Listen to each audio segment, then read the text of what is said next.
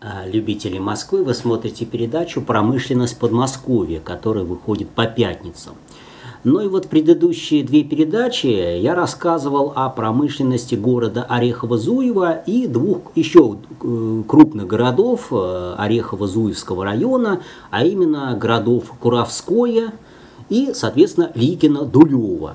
Ну и сегодня мы завершаем Орехово-Зуевский район а, и, соответственно, сегодня о других предприятиях, которые еще находятся на территории Орехово-Зуевского района. Надо сказать, что Вообще район этот, он в отличие от большинства других а, районов Подмосковья, он вообще-то в принципе раньше был и промышленным, да, потому что мы привыкли к тому, что а, промышленность, она, как правило, сконцентрирована в городах. Ну, это и понятно. Вот. А здесь, э, вот в Орехово-Зуевском районе, ну потому что это все-таки восток Подмосковья, традиционный промышленный такой центр, конечно, Московской области, Здесь э, промышленность, она была развита не только в городах, но и даже в некоторых селах. Вот. Но, к сожалению, в настоящее время, увы, промышленный потенциал района далеко не тот, который был э, в советское время ну и даже, в общем-то, и в 90-е части, в 2000-е годы, ну, в частности, например, закрылись э, предприятия ткацкие, во Всюнино ткацкий комбинат закрылся, э, в Дрезне крупнейший хлопчат-бумажный тоже комбинат, собственно говоря, градообразующее предприятие города Дрезна, ну и, по сути, единственное предприятие города Дрезна, э, вот, э, которое тоже довольно успешно работало, тоже закрылось. Э, значит, допустим, в других, во многих, вот э, в Кабанове, допустим, довольно крупное, ну это не город, это село, но тут э, закрыло сразу два предприятия, это птицефабрика и молокозавод, тоже довольно крупные были предприятия, к сожалению, закрылись. Ну и, в общем-то, и в других некоторых местах, Котечек, кстати, пластмассовый завод был тоже вот закрылся. Ну, в общем, увы, не везде удалось сохранить промышленность э, и в городах, и в селах. А, в то же время, ну, что-то не сказать, что прям все плохо-плохо, и несколько предприятий в Орехово-Зуевском районе я бы хотел отметить, ну, помимо, конечно, э, тех, которые уже говорил, а именно в городах Орехово-Зуево, Куровское и Ликино-Дулево. А, и а, одно предприятие довольно крупное, машиностроительный завод «Тонар», он находится в селе Губино, вот село Губино, недалеко от города Ликино-Дулево, вот оно. И здесь находится завод Тонар. Значит, машиностроительный завод, который занимается выпуском э, разных э, прицепов. Вот они, всякие полуприцепы, э, самосвальные полуприцепы и так далее. То есть тут очень много, видите, большая такая принципа, всякие разные. Бункеры, вон перегрузки для зерна, картофелевозы, тракторные прицеп, птицевозы.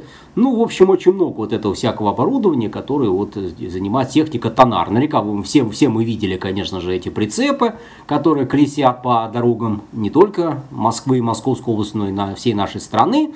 Ну и, конечно, далеко не все делаются здесь на тонаре, но, в общем, в Губино делается довольно много в общем, предприятие такого полного цикла и занимается машиностроительное предприятие.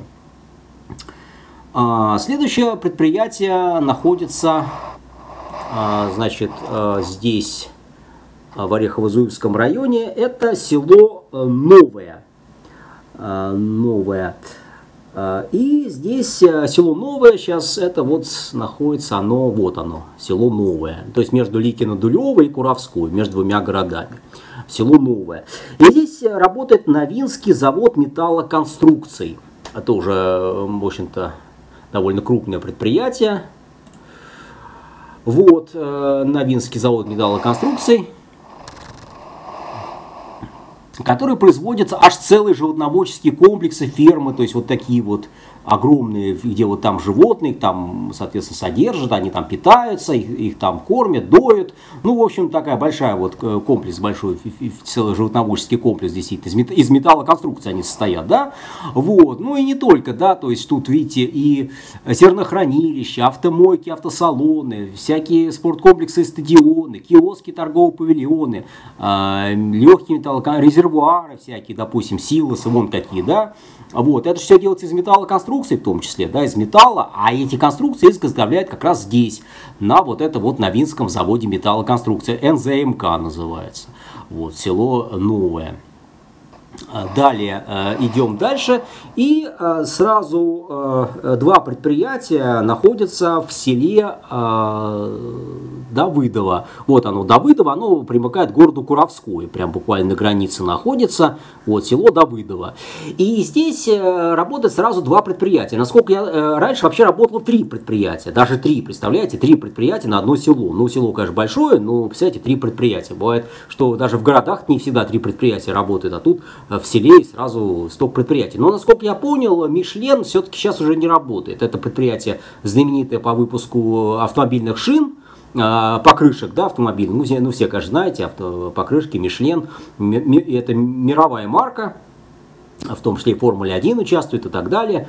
Вот. Ну и вот одно из предприятий находилось как раз в Давыдове. Ну, как я понимаю, оно закрыто, ну, в большей степени, конечно, по политическим э, так сказать, моментом. Ну, в общем, я не знаю, честно говоря, не могу сказать всех тонкостей, почему оно закрылось, но, сколько я знаю, здесь оно не работает. Но зато точно знаю, что работает два предприятия.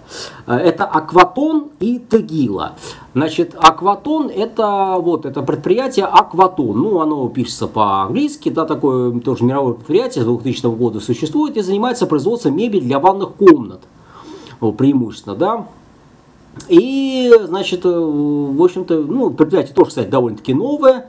Ну и, в общем, здесь, э, видите, 100 э, километров от Москвы, город Орехово-Зуево. Но это не, не город Орехово-Зуево, это все-таки село Давыдово, ну, Орехово-Зуевский район. Но, в общем, более-менее понятно. Ну, тут просто для простоты решили, так сказать, вот. Ну и тут можно вот посмотреть, да, всякие коллекции. Вот, пожалуйста, разные марки для ванных комнат, да, всякие такие вот интерьеры. Вот, пожалуйста, тут все Marble, там Марти э, и так Оэльс, ну это название, да, разных ванных комплексов, да, там бывает кухонная мебель, да, вот, а это такие, ну не мебель даже, а такие как бы ванные интерьеры ванных комнат, да, то есть всякие аксессуары, которые вот, э, соответственно, применяются в ваннах, там умывальники разные, так сказать, сушилки, унитазы, ну, ну в ваннах тоже бывает. Ну и так далее, да, зеркала всякие там, да, держатели, ну и так далее.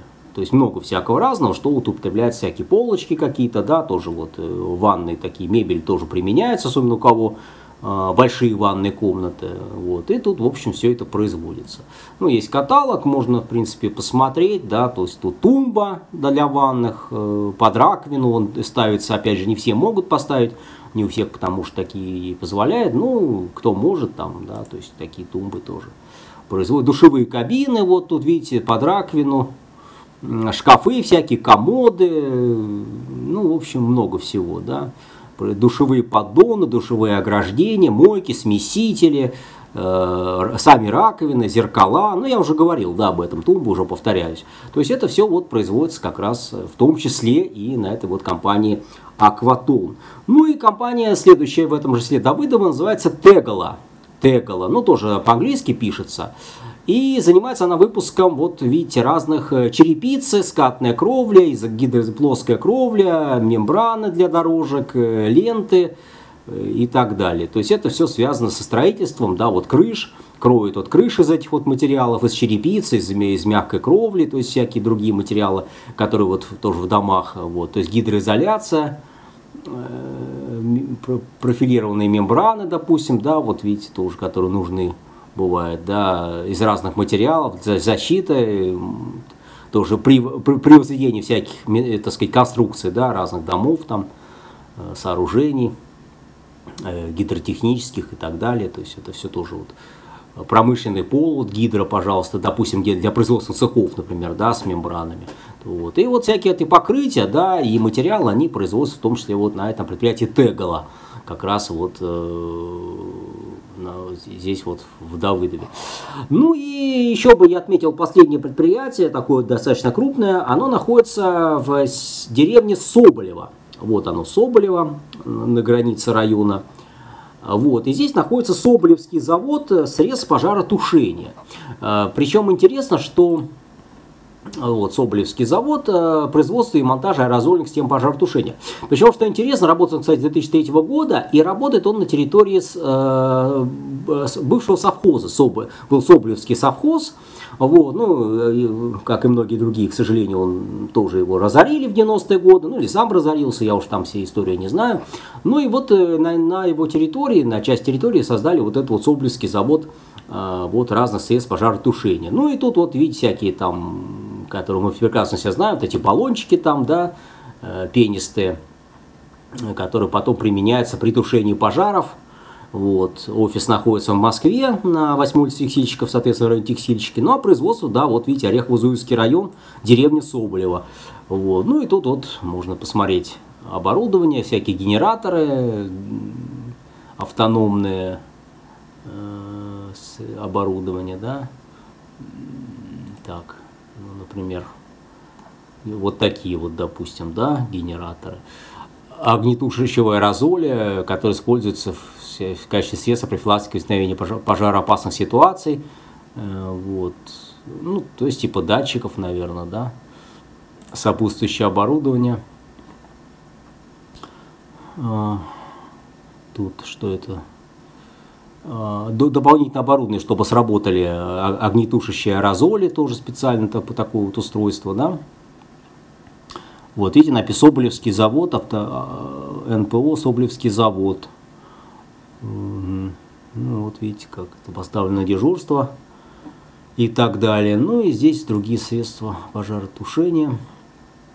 Ну вот, видите, огнетушители порошковые, все, конечно, знают, все мы, конечно, видели такие огнетушители. Вот они в том числе производятся здесь, на вот этом Соболевском заводе.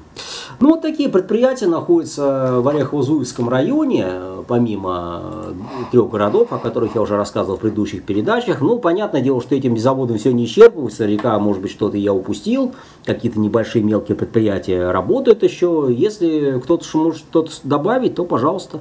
Естественно, я не претендую, как всегда, на исчерпывающую информацию. До новых встреч!